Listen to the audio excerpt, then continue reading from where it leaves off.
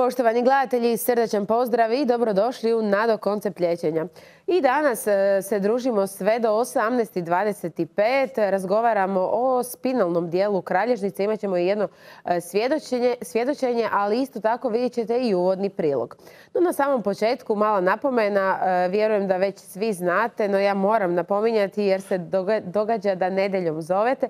Znači, naša emisija ide uživo upravo po nedeljkom. Nedeljom je repriza, stoga zovite danas i tako možete osvojiti besplatan pregled i besplatnu prvu terapiju u Poliklinici Nado.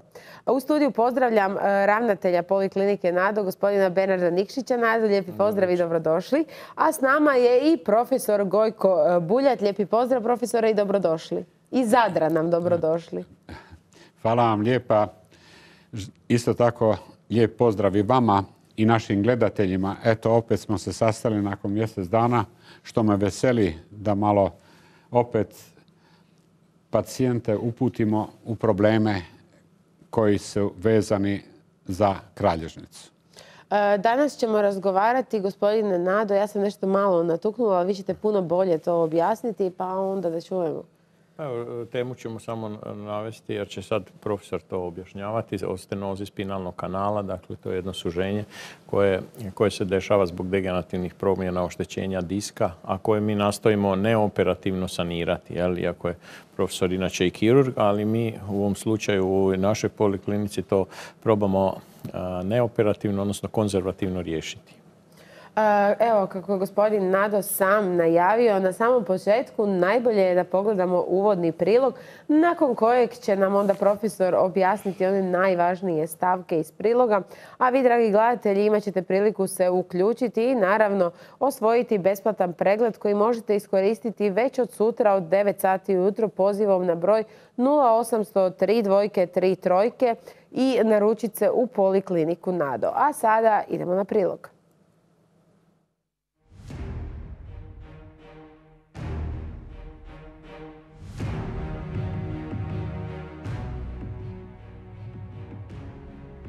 Tema današnjeg razgovora, odnosno našeg priloga, je stenoze spinalnog kanala vratne kralježnice. Vratna kralježnica sastoji se iz sedam kralježaka, od kojih se prvi i drugi, atlas i aksis, anatomski razlikuje od ostalog dijela vratne kralježnice. Vratni kralježak ima svoje tijelo ili korpus na koji se nadovezuje prema straga pedikl, a onda na pedikl ide luk kralješka ili lamina, a završava straga sa trnastim ili spinoznim nastavkom. Svakako da se tu isto tako zglobni nastavci i diskovi koji povezuju pojedine kralješke. Kroz poprečne nastavke kralježnice prolazi arterija vertebralis koja vodi krv prema mozgu. Unutar ovih anatomskih struktura nalazi se kralješnični kanal, kroz koji prolazi kralješnična moždina. Stenoze kralješničnog kanala dijelimo na dvije osnovne grupe. Jedna je kongenitalne ili prirođene stenoze kralješničnog kanala, a druga je stečene većinom degenerativne stenoze kralješničnog kanala. Sigurno da se na kongenitale ili prirođene stenoze kralješničnog kanala mogu nadovezati i degenerativne ili stečene promjene kralješničnog kanala, što još više pogoršava situaciju stenoze spinalnog kanala vratne kralješnice. Degenerativne promjene kralježnice su dosta učestale. Prvo propada disk, propadanjem diska dolazi do stvaranja spondilofita. Spondilofiti su koštane naslage koje se mogu širiti prema kralježničnom kanalu i dovesti do suženja kralježničnog kanala. Kako centralnog dijela, tako i recesusa i u području foramena unkovertebralna artroza e, vratne kralježnice. Isto tako do stenoze kralježničnog kanala mogu dovesti i hipertrofični e, zglobni nastavci i e, osifikacije u području ligamenata Sve to dovodi do suženja kralježničnog kanala, odnosno pritiska na strukture kralježničnog kanala.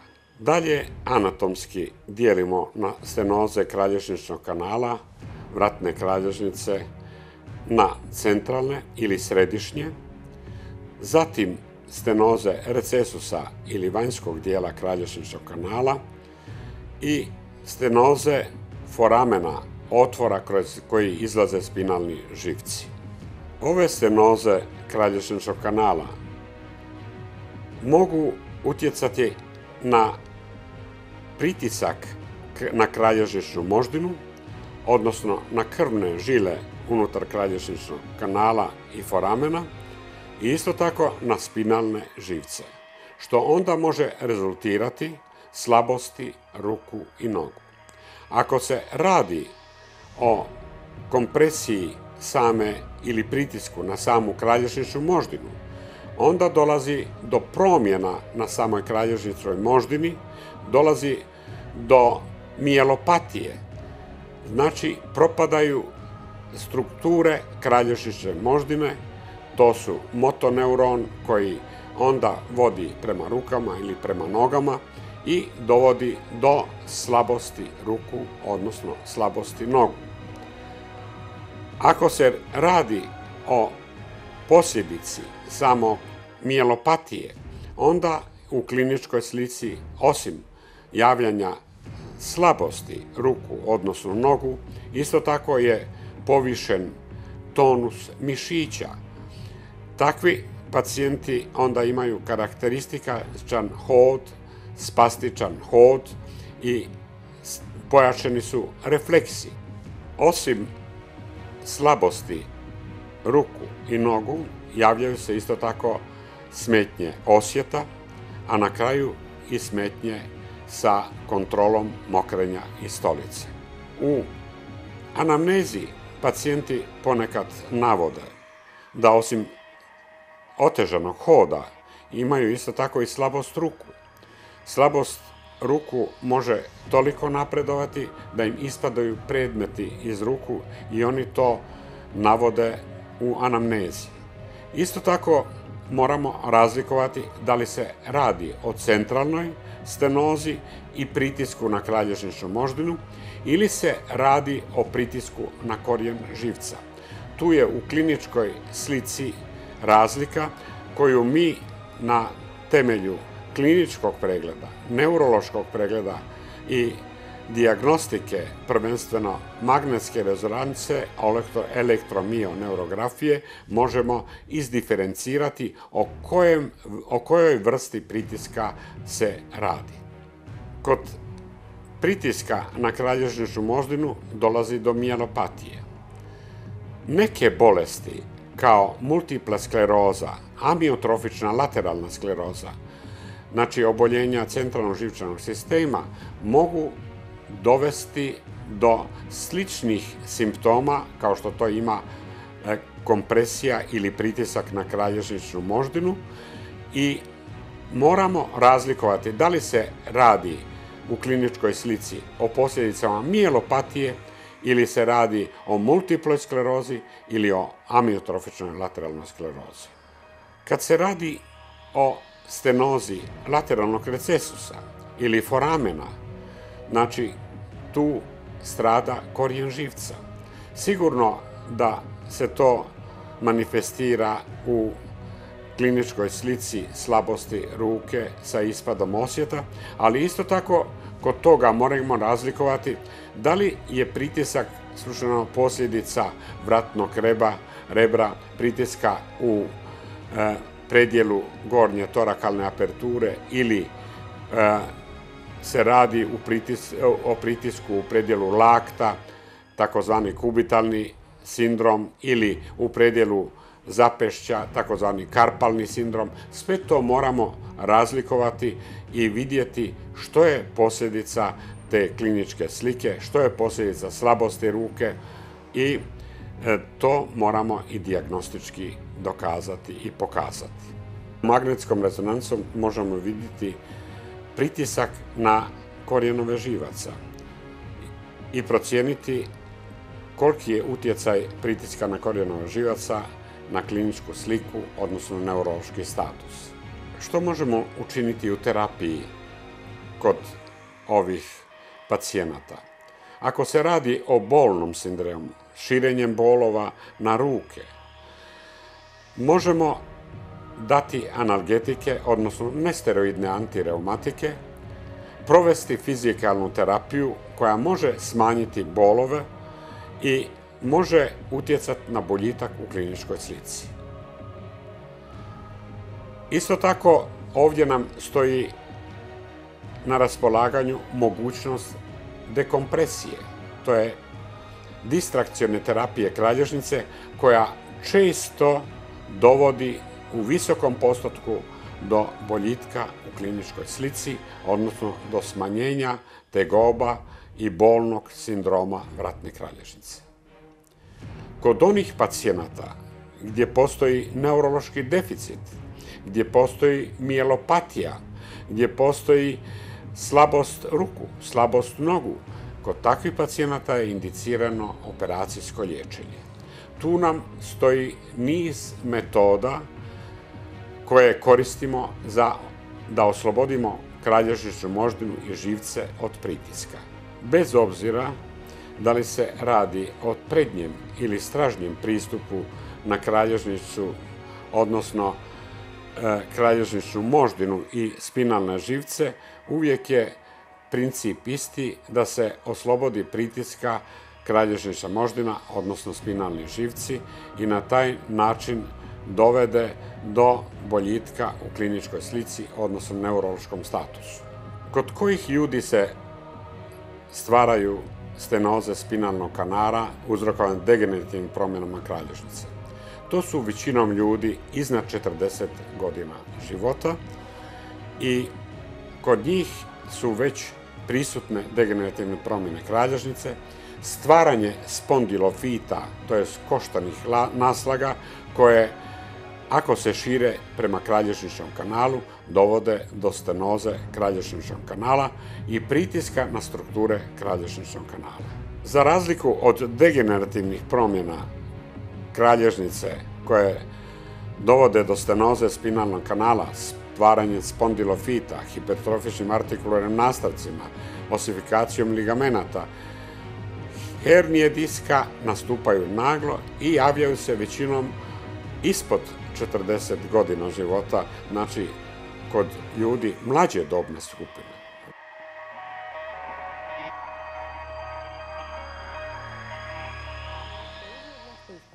I evo nas natrag u studiju. Profesore, baš sam komentirala, imamo nešto što se javlja e, ispod 40, a nešto što iznad 40.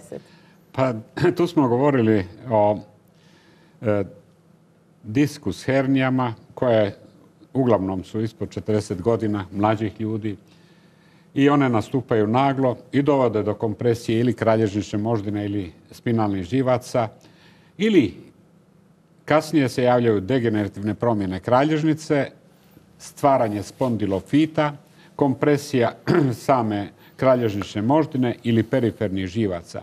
Znači, tijekom našeg života polako se stvaraju ti spondilofiti i kod svih ljudi, ne kod nekih brže, kod drugih e, sporije, ali se oni stvaraju. To je proces našeg života.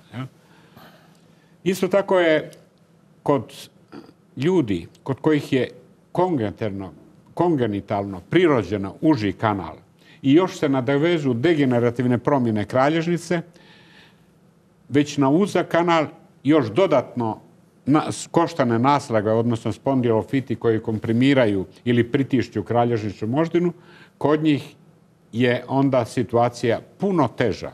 I prije dolazi do neurološkog deficita, prije dolazi do pritiska na kralježničnu moždinu, odnosno spinalne živce. Pa, gospodine Nado, sigurno se i vi želite nadovezati, pa evo par riječi. Pa, možda to samo pokazati, jer vjerovatno većini nije baš Vratno. Jasno. što je uopće spinalni kanal? Evo tu je koja kamera ova radi. znači tu je ovaj otvor kroz koji prolazi ta leđna moždina, a ovaj a ovo oštećenje sad će nam jel da pokazati Malo kamera. Sad će nam kamerica prikazati. Ovo što profesor priča da malo zornije prikažemo.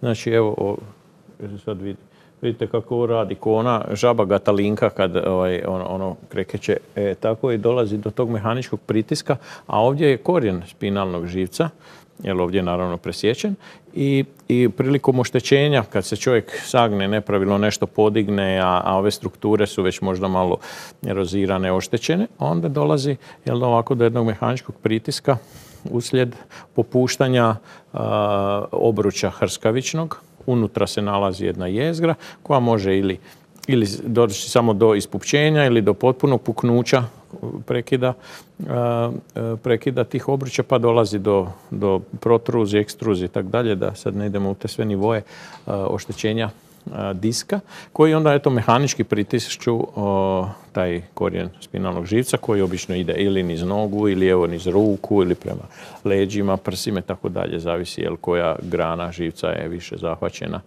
Što se manifestira u obliku trnaca ili što je rekao profesor e, ispada e, neuroloških deficita ili bolova. Jel? Može biti i jedno i drugo, mogu biti samo bolovi ili trnci ili trnci i bolovi, jel? opet sve ovisi o situaciji. Mi imamo već prvu gledateljicu. Halo, dobar dan.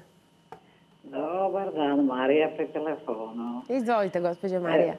E, lijepi pozdrav svima vama. Hvala vam. Pa ja, pratim vas, pozorno vas gledam i ja bi malo došla na pregled, ako mogu dobiti pregled ovaj besplatni. Dobili ste, čim ste pozvali broj telefona, evo dobili ste besplatni pregled. Hvala vam puno, pozdrav. Dakle, svi vi koji nazovete, ostvarili ste besplatan pregled i besplatnu prvu terapiju, dakle ne samo pregled. 0803 dvojke, 3 trojke, broj telefona je koji zovete već sutra od 9 sati ujutro. Evo, ja bih samo dodao, gospođa je sigurno zavrijedila pregled u NADO centru, ali svrha ove emisije je da se postave pitanja, da malo porazgovaramo o problemima koji su vezani uz kralježnicu. Danas ciljano u stenozu kralježničnog kanala i tako da možemo e, na neki način gledateljstvu pojasniti neke probleme vezane uz kralježnicu, odnosno stenozu spinalnog kanala e, kralježnice. evo koliko dugo radim ovu emisiju, shvatila sam da zapravo e, cijela naša kralježnica, evo ovdje imamo e, zorno prikazano maketu kralježnice, svaki ovaj njezin dijelić može izazvati izuzetno velike probleme kod svih nas.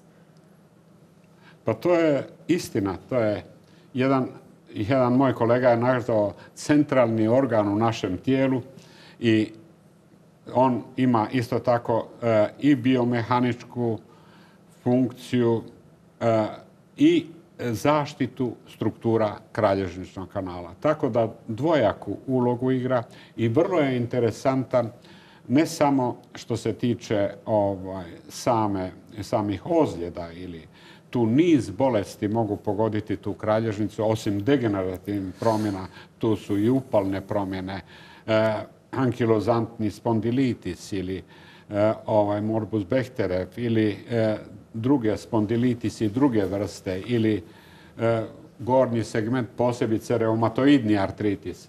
Sve je to interesantno da se zna na vrijeme prepoznati i da se može na vrijeme početi liječiti.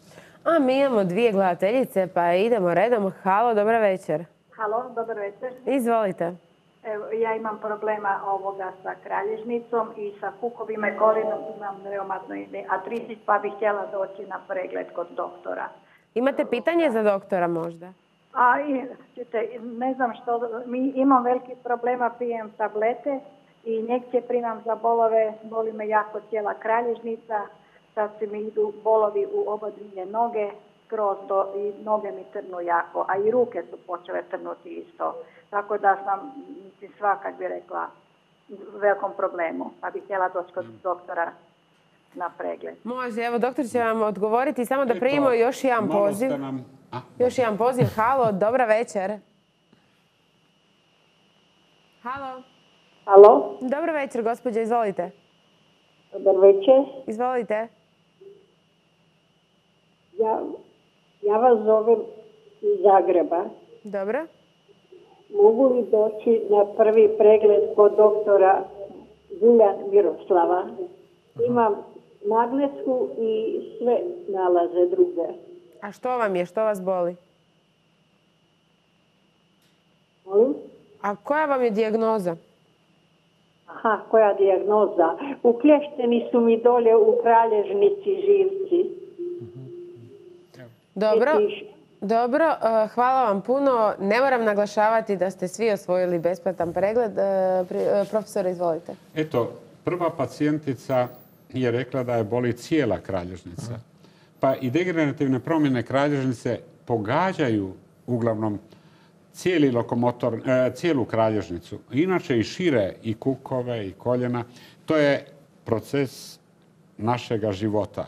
Dolazi do degenerativnih promjena. U kralježnici cijele kralježnice, najviše na mjestima gdje je najopterećenija kralježnica, to su između šestog i sedmog, petog i šestog, šestog i sedmog vratnog kralješka i u slabinskom dijelu kralježnice između četvrtog i petog i petog i prvog krstačnog kralješka, gdje se težina tijela prenosi na krstačnu kost, odnosno na e, zdjelične kosti i onda na noge. Tako da e, u tom slučaju e, gledamo što je najviše izraženo u tom e, degenerativnom procesu i gdje je najveći problem, pa onda pristupamo nakon pregleda prvenstveno liječenju onog segmenta kralježnice koji je najviše degenerativno promijenjen i koji daju najtežu kliničku sliku.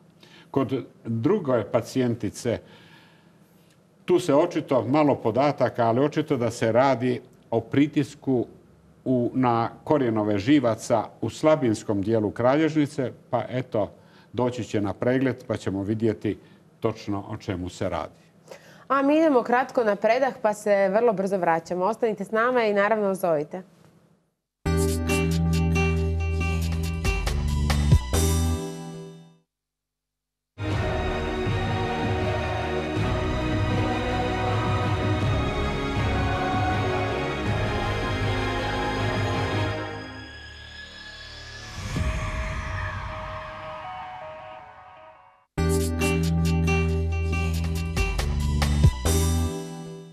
Sada riječ prepuštam ravnatelju Poliklinike Nado da i on kaže par riječi našim eh, gledateljicama, ali i svojim budućim pacijenticama. Evo. Pa je, vrlo je važno, ovo, vidite ste šta je sve profesor nabrojio od, eh, od eh, ovih mogućih uzroka i tegoba na kralježnici, zato mi svakom preporučamo da dođe do nas da napravimo možda neku diferencijalnu dijagnostiku jer što smo više puta govorili, često eh, u ovim, u ovim klasičnim, da kažemo, pregledima bolnicama pre, pre- premalo se ima vremena za kvalitetan pregled. A, a, a kvalitetan pregled je, da već kažemo, pola rješenja. Kad znamo točno o čemu se radi, evo kod ove gospođe, da li su degenerativne promjene, da, li- je tu sad zahvat cijela kralježnica, da li je to neki ankilozantni spondilitis, da li je tu sad mehanički došlo do nekih pritisaka. Dakle, različite su terapije, jer to mogu biti neke upalne e, degenerativne promjene upalne reakcije, mogu biti mehanički uzrokovane, mogu biti određeni pomaci e, u posturi, u statici, zbog ne znam kukova, zbog nesimetrije, e, pa onda dolazi do određenih pritisaka na e, mjestima gdje ne bi trebali biti takvi pritisci. I to sve treba, da kažemo, proučiti, jer kad se, jer kad se jedanput shvati uzrok, onda, kažem, to je već pola rješenja. Može biti uzrok, ne znam, kraća malo noga, Mislim, mi smo isto učili da je do centimetar i po prosječno i normalno, ali to nije, e, to nije normalno u stvari. Ili bi trebalo bi biti e, poravnato, jer, jer e, centimetar i po dolje kraće, znači na metar 70, 80, 90, to je veliki otklon gdje onda dolazi u jedan položaj tijelo, da kažemo takozvane skolioze, ali ne strukturalne nego nestrukturalne i onda može dolaziti do raznih pritisaka i sad vi tretirate stalno lokalnu e, tegobu, a u stvari uzrok je na sasvim drugom mjestu. I ako tako ne gledamo čovjeka kao e, cjelinu, on, onda e, često dolazi do loših rezultata u, u samom tretiranju pacijenata. Jel?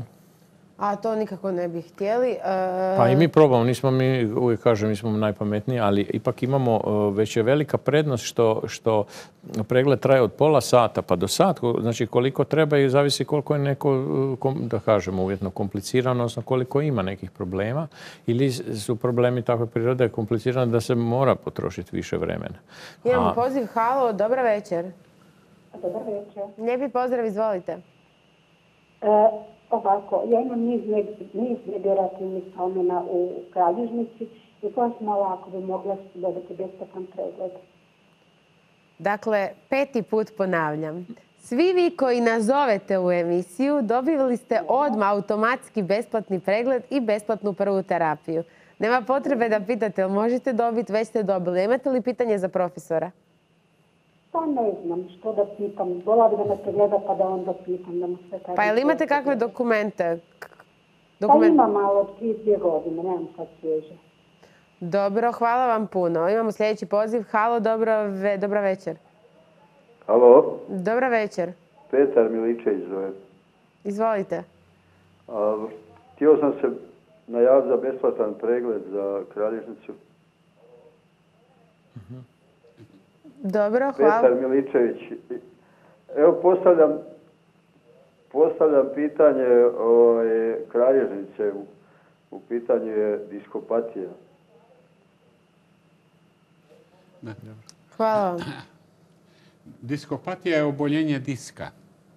Sada gleda se, e, i to je normalno jedan proces e, degenerativnih promjena diska. I sad sve ovisi o stupnju koliko je promijenjen taj disk. E, disk intervertebralni sastoji se od jednoga fibroznoga dijela, to je okolo anulus fibrozus, koji onda e, e, unutar kojeg se nalazi mekani dio ili nukleus pulpozus. Uslijed promjena na nukleusu pulpozusu postupno dolazi i do e, rupture ili promjena do anulus fibrozusu ili fibroznom obruču oko samog nukleus pulpozusa i dolazi do rupture ili oštećenja tog anulus fibrozusa kroz, kroz koji onda u manjoj ili većoj mjeri izlazi nukleus pulpozus od i onda može doći do kompletnog izlaska, znači imamo protruziju, prolaps, ekstruziju i na kraju sekvestar ili samostalni dio diska unutar kralješničnog kanala. Tako da gospodin e, sa diskopatija, to je uopćeno i obično mi e, taku- takav nalaz nekad i čitamo diskopatija, to ništa ne znači. To mogu samo, e, možemo reći da su to e, e, patološke, degenerativne promjene samog diska, ali kojeg oblika to tek moramo utvrditi.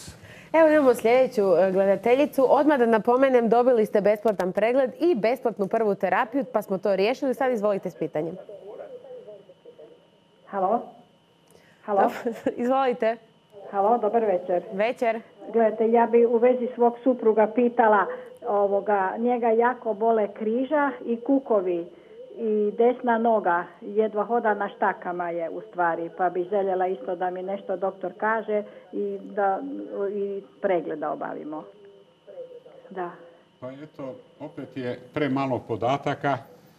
E, sad, križa ili lumbosakralna kralježnica može boliti od degenerativnih promjena same kralježnice, od diska, diskogeni bol ili od promjena na ovim malim zglobovima koji se nalaze na stražnjem dijelu kralježnice, tako da nekad ti zglobovi imaju svoju kapsulu ili koja e, je isto tako uslijed degenerativnih promjena malog zgloba može biti i nategnuta, a tu završava stražnja grana spinalnog živca i e, sa tim pokretima u tom dijelu slabinske kralježnice može doći do promje- e, e, bolova koji mogu onda se širiti prema kuku.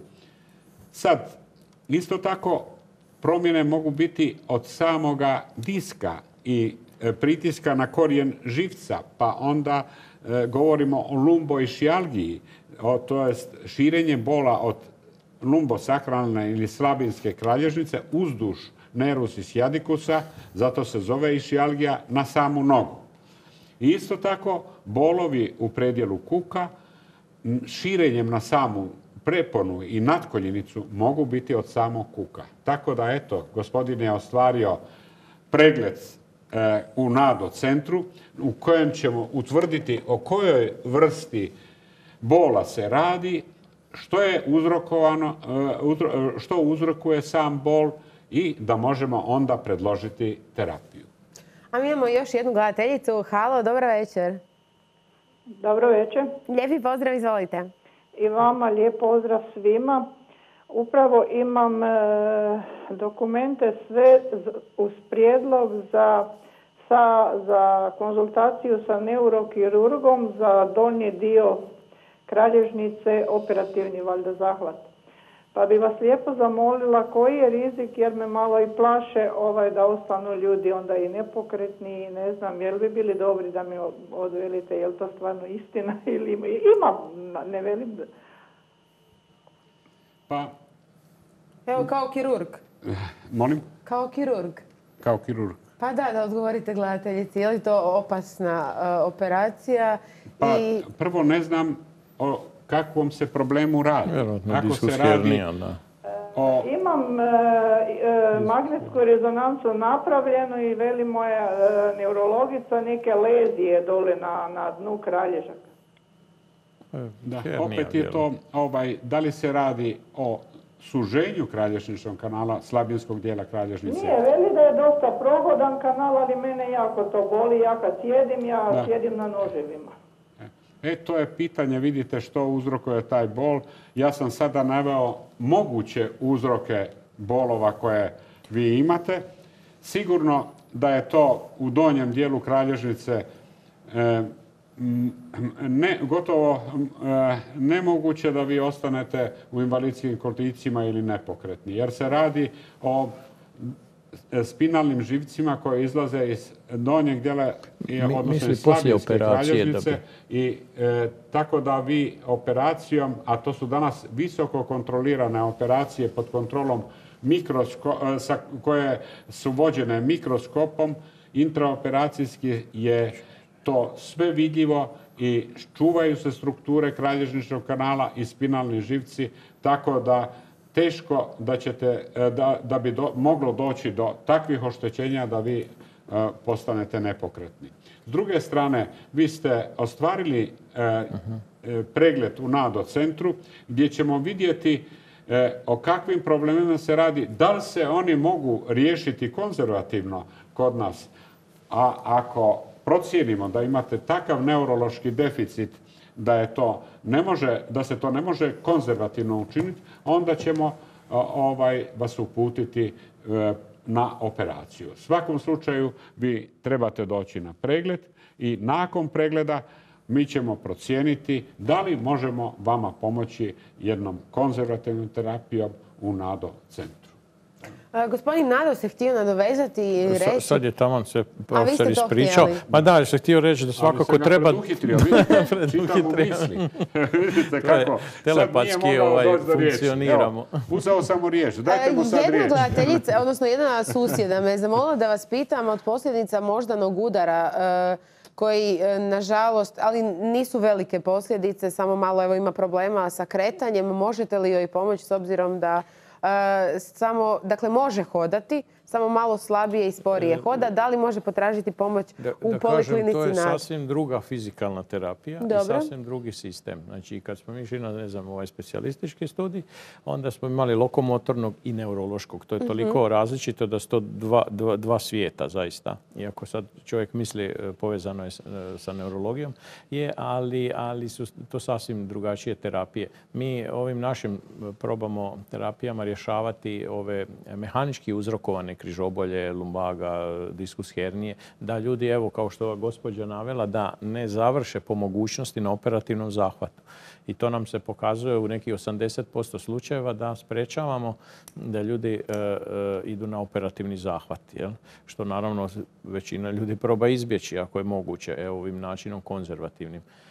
E, ne znaju svi neurokirurzi, ne znaju neurolozi možda svi ovu našu metodu i učinkovitost i tako dalje, nego znaju da ova klasična fizikalna e, što samo idu, ne znam, struje, maši ručicama, pliva i vježba, znači da to najčešće kod većih problema e, i oštećenja diska, da jednostavno to ne daje rezultate. I onda se upućuje neurokirurgu i onda neurokirurg obično operira. Dakle, mi, mi svakako e, ponovo e, predlažem i ponavljam, treba doći potražiti drugo mišljenje u tom slučaju ako se čovjek ne odlučuje baš za mhm. operativni zahvat, da probamo to ovaj, evo, konzervativnim putem riješiti. A mi idemo sada na svjedočanstva koja imamo iz poliklinike NADO, pa se nakon toga vraćamo da vam pokažemo gdje se sve nalaze poliklinike.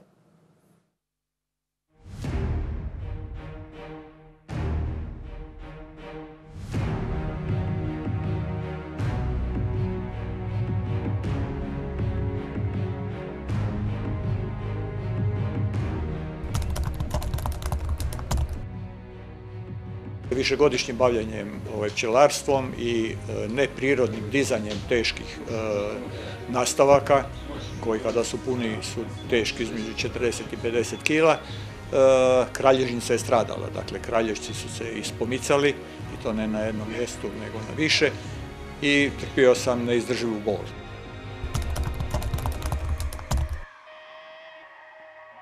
Trpio sam neizdrživo boli do mučnine, do, do, do toga da su gotovo oči ispadale. Pokušavao sam razne stvari i kod raznih terapija i onda sam se sjetio da sam zapravo čuo za nadocentar prije e, deseta godina u Osijeku i tražeći po internetu našao sam nadocentar Zagreb i odmah sam se tu prijavio. E, došao sam na razgovor kod specijalista, ortopeda i ovaj, on mi je preporučio deset terapija dekompresije i tijekom tih e, terapija sam bio i na elektromagnetnoj rezonanciji koja je pokazala katastrofalnu sliku. Dakle, i, hitna operacija da se to zapravo, e, taj mehanički kvar zapravo mehanički ukloni.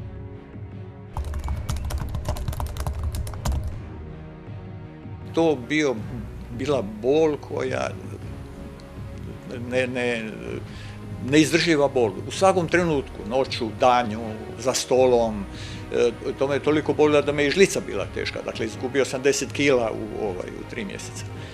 I nakon tih 5, 6, 7, pa pitan dečke, koliko? Pa individualno, ne, mene to nije utješilo. Šta znači individualno? I stvarno je, mislim, to je i vezano i za ozljedu i za, poremećaj evo meni je trebalo 11 puta da osjetim zapravo prvo poboljšanje. I onda iz tretmana u tretman sve bolje i bolje. Umjesto, prvo sam napravio kilometar, pa dva, pa tri, pa evo sad normalno radim i sa svojim pčelama i u svojoj planetaži lješnjaka.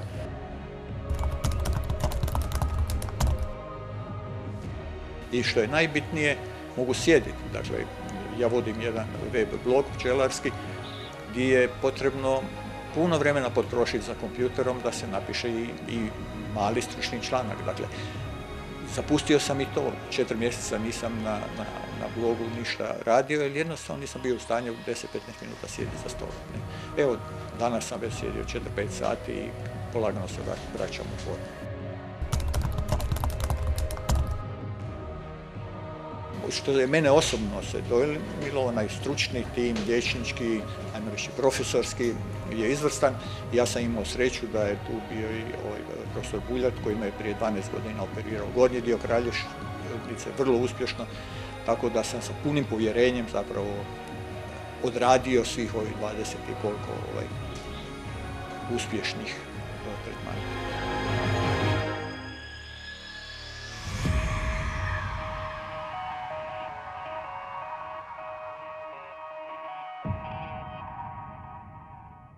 Prije završne riječi vrijeme je da prošitamo po svim nadocentrima. Krećemo od onog u Zagrebu u Krančevićevoj ulici. E, za sve vas koji ste osvojili danas besplatne preglede ovdje ćete e, doći. E, nakon toga, poslije Zagreba idemo na odnosno idemo u Osijek, točnije u samo središte Slavonije, otkud je prekrasna ova nado priča i krenula. Poslije Osijeka vodimo vas ni manje ni više, već, na, već u Kvarner, točnije u Rijeku. Tu se nalazi slatki mali nadocentar. Poslije Rijeke idemo u Split, srce Dalmacije, iza Splita e, jedna simpatična e, nadocentar koji se nalazi u Varaždinu. E, ovdje dolaze svi oni iz središnjeg dijela Hrvatske, a poslije Varaždina posljednji otvoreni nadocentar, to je onaj na otoku Murteru u kojem dolaze ne samo sa otoka, već i Šibenika, znaju doći i iz Zadra. E, završne riječi, gospodine Nado, za, za današnju emisiju, kako ćemo nekako podvući crtu? Pa evo, e, mi smo jako sretni kad vidimo ovakva svjedočenja, znači kad se čovjek vrati u funkciju, jer to je najvažnije, mhm. da on može, evo što kaže, vratiti se svojim pčelama, da se može obvezama vratiti, onda, onda smo svi sretni i zadovoljni, znamo e, svrhu našeg postojanja. Ja? Profesore? Pa eto, ja bih na kraju isto tako rekao da je potrebna ne samo edukacija o problemima kralježnice mogućim, isto tako i preventiva. Liječenje, pobol kralježnice, to sam već rekao, je kao pobol zubi. Za zube činimo sve, za kralježnicu ne činimo ništa. Prema tome... Neki ne čine ni za zube. Prema tome, važno je da ljudi provode preventivu, da imaju adekvatan broj kila, da tijelo vježbe, e, sjedalice, vožnje autom, kod djece da se pazi na e, početna iskrivljenja kralježnice, da bi se prevenirala e, jedna značajna iskrivljenja kralježnice. Tako da niz tih faktora, ova emisija je premala u minutaži da bi čovjek iznio sve one važne momente koji su potrebni da bismo spriječili e, bolesti kralježnice i pomogli da se to ne razvije u onom opsegu kojim mi danas viđamo u NADO centru. A možemo li pretjerati sa tijelovježbom? Sa čim? Sa tijelovježbom. Pa može se, osobito je opasno što se vježbe provode neadekvatno. I mhm. to je opasno. Dizanje utega. Osobito dizanje utega, nekad opterećenja kod mladića koji još nisu završili, nije završen rast. Pa to je vrlo e, teško zavidjeti da oni imaju bolove zbog toga što su neadekvatno trenirali. Prema tome, treninge i vježbe za kralježnicu mora se provoditi adekvatno. I pod nadzorom. Pod nadzorom, sigurno. Gospodine Nado, što ćemo možda da najavimo našim gledateljima, o čemu ćemo pričati u idućoj emisiji? Sam se sjetio kad kaže profesor da ne valja preterivati. Mislim, u ničemu ne treba preterivati, jedino ja mislim u voljenju. To možemo voliti koliko hoćemo i ne možemo pretjerati ako volimo jedni druge. Evo, a idući je... A idući je ovaj, Ovo ste gost... jako lijepo rekli. Molim? Ovo ste jako lijepo rekli. Da, uh, idući gost je uh, dr. Primarius Ja nisam samo razumio što je to. Je li to općenito ljubav koja je premalo na ovom svijetu? Pa prema ljudima, Treba Bogu, životinjama, svemu, sve, možemo, sve možemo ljubiti, prirodu, ljude. Dobro, a sljedeći ponedjeljak je s nama? Je primarius dr. Krapac, jel, fizijatar.